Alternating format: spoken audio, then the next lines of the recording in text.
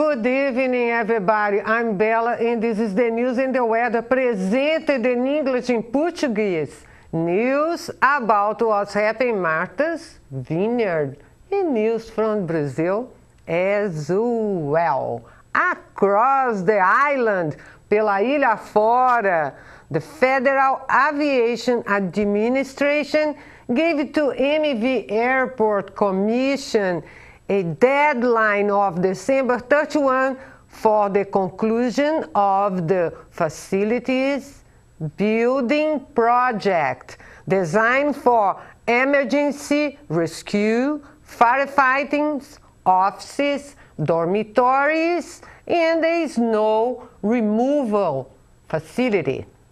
A Administração Federal de Aviação deu à Comissão do Aeroporto de Martha's Vineyard o prazo de 31 de dezembro para completar o projeto de construção das instalações projetadas para resgates de emergência, combates a incêndio, escritórios, dormitórios e local para armazenamento de equipamentos de remoção de neve.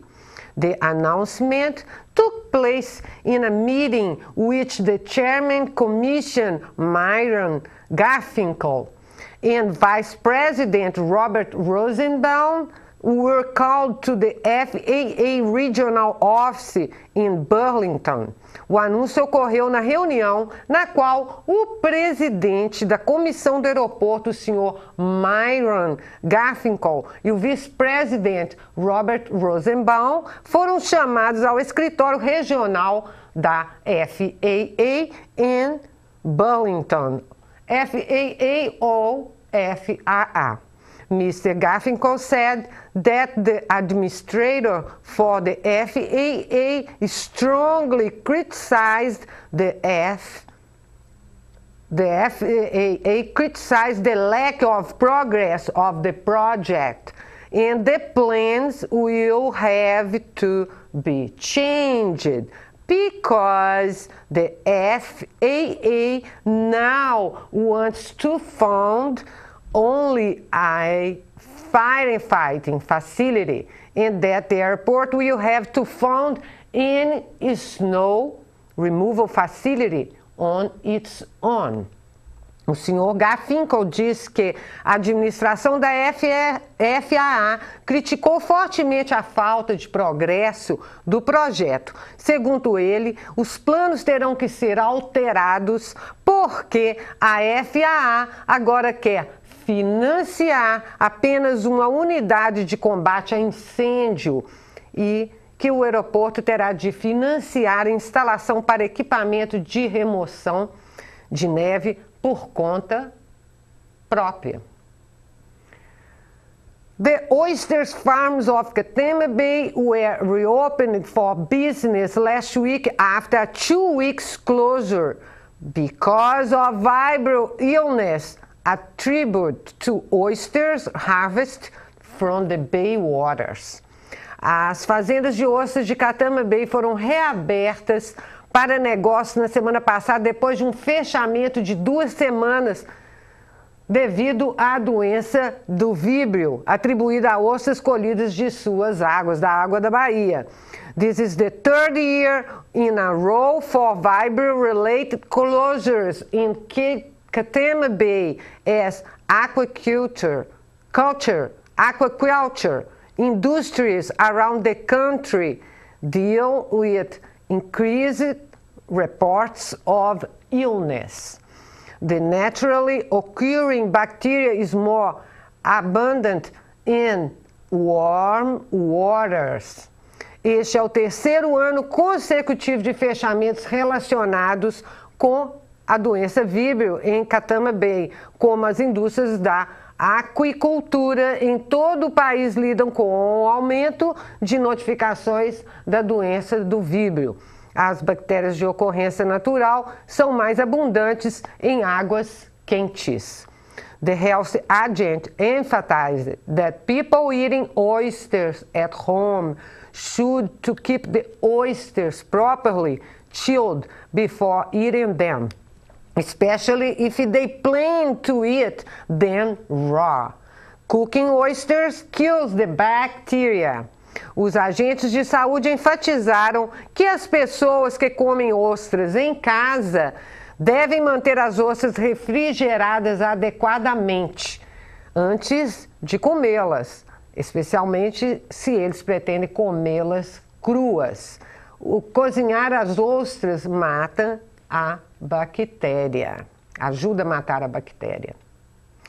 Last Tuesday, Geoffrey B. McCulloch, a 20-year-old man of Hingham, came to the West Chisbury police station and admitted to breaking in of Alice General Store in West Chisbury on Saturday night. Police said. A polícia disse que na terça-feira passada, Jeffrey B. B. McCall, de 21 anos, de 21 anos de Hingham, foi à delegacia de polícia de West Tisbury e admitiu ter arrombado a loja Alice General Store na noite de sábado. According to the police, he allegedly entered the store by breaking a window on the porch. The alarm was triggered, and police said a cleaner arrived at the store shortly afterward, which may have startled Mr. McCall and prompted, prompted him to leave the place. Segundo a polícia, ele supostamente entrou na loja quebrando a uma janela na varanda. O alarme disparou e a polícia disse que uma pessoa do serviço de limpeza chegou na loja pouco depois, o que pode ter assustado o senhor McCullough, levando-o a deixar o local. Pictures of a man showing on surveillance camera footage breaking into the Alice store was shared on the social media by West Chisbury police asking people to identify the man. Mr. McCall saw the pictures and turned himself in. Lieutenant Manconi said Fotos de um homem mostrado em câmera de vigilância invadindo a loja Alice foi compartilhada na mídia social pela polícia de West Tisbury, pedindo ajuda à população para a identificação do homem. O tenente Michael diz que o senhor McCullough viu as fotos e com isso se entregou.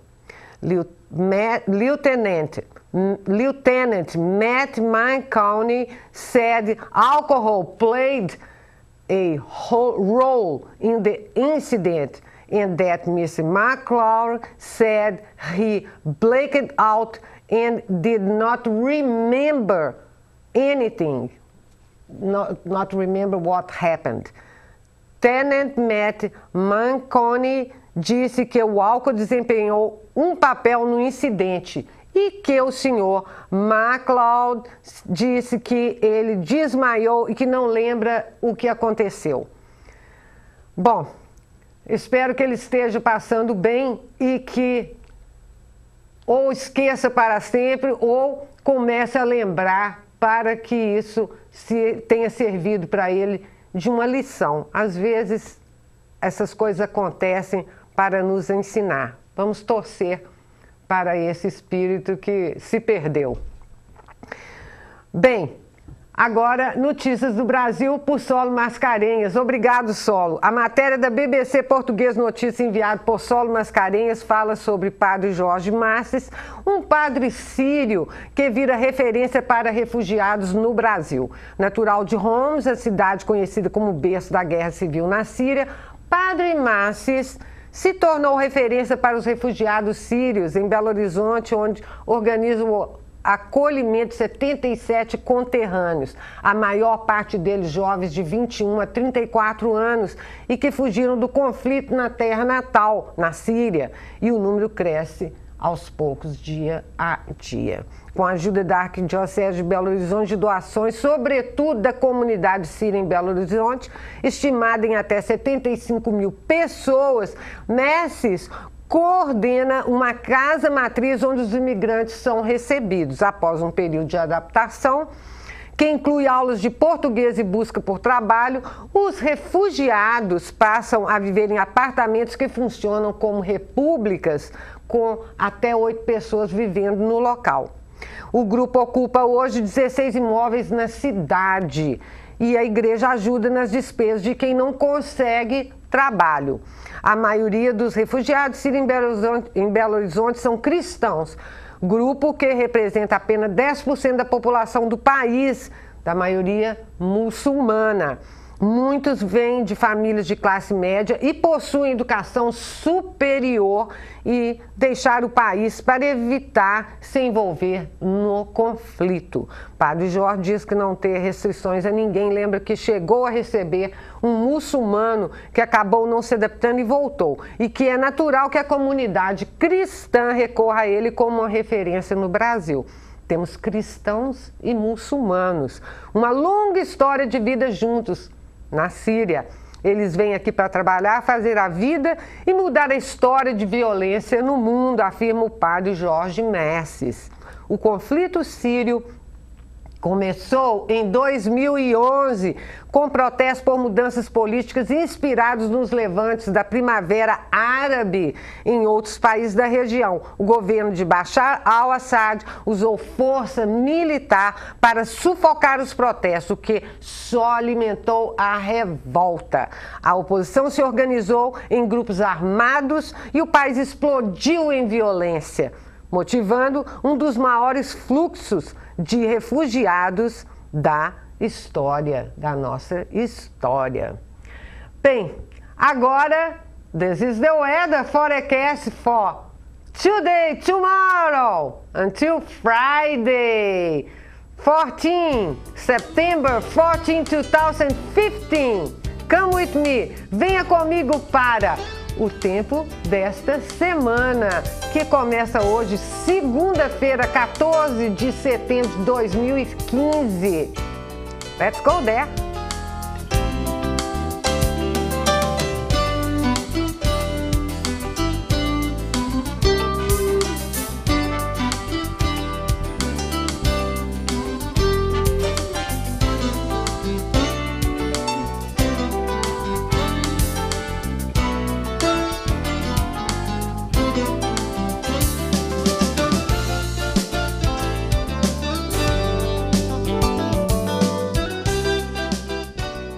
Hoje, noite de segunda-feira, tonight Monday, tempo bom com a temperatura mínima por volta dos 61 graus. Os ventos virão pelo oeste entre 10 a 15 milhas por hora, com rajadas de até 26 milhas por hora. Tuesday, terça-feira, dia de sol com a temperatura máxima por volta dos 75 graus. Os ventos são esperados por volta de 8 a 10 milhas por hora, com rajadas de até 20 milhas por hora. Noite de terça-feira, Tuesday night. Tempo bom, com a temperatura mínima nos 62 graus. Os ventos vão vir pelo oeste por volta das 5 milhas por hora. Wednesday, quarta-feira, dia de sol e máximas nos 76 graus. Os ventos virão pelo noroeste por volta das 6 milhas por hora. Noite quarta-feira, Wednesday night. Tempo bom com as mínimas nos 65 graus. Quinta-feira, Thursday, dia de sol, com as máximas nos 77 graus. Thursday night, noite de quinta-feira, tempo bom com a temperatura mínima nos 66 graus. Friday, sexta-feira, dia de sol e máxima nos 76 graus, 77 graus. E a noite de sexta-feira vai ter tempo bom e a temperatura mínima vai ficar nos 65 graus Fahrenheit.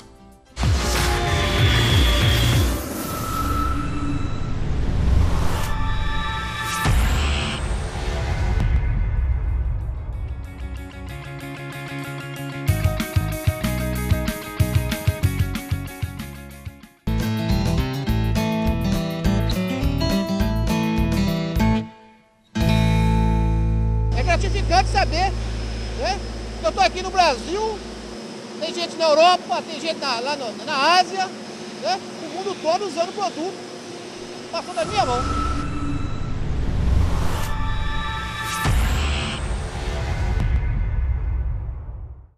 Let's keep positive and always thankful. Assista nesta quarta-feira a série Brasil Metal no programa Banana Connection, excelente imagem, produção e assunto. Every Wednesday at 8 p.m. Watch this show, it's wonderful. And watch Bela Video as well. Assista esse show, como também Bela Vídeos, anytime on demand at www.mvtv.org or Go to YouTube, Planet Bella TV. Hello, hello, here we go. Thanks to all sources, the National Weather, Link Christopher, beautiful images. And thanks to you, obrigado a você.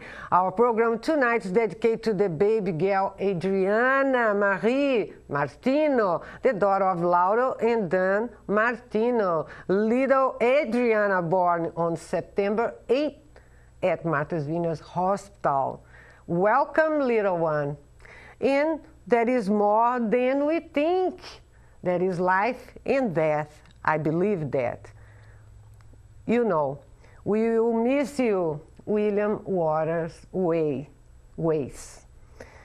And save the date for the Music Banana and Fun Aracataca Banana Show na matinê de domingo, no dia 27 de setembro, às três e meia da tarde. Sunday Matinee on September 27 at 3.30 afternoon at Catherine Cornell Theatre in Haven.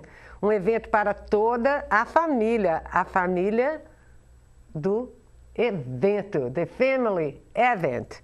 Aracataca Banana Show is the musical puppet show of the Brazilian folklore. Aracataca Banana Show is supported by Martha's Vineyard, Saving Bank, Massachusetts Cultural Council, and Chronicles Market in Edgy Camp. Save the date. We have bananas. That's very important. Ciao, ciao, and I see you next.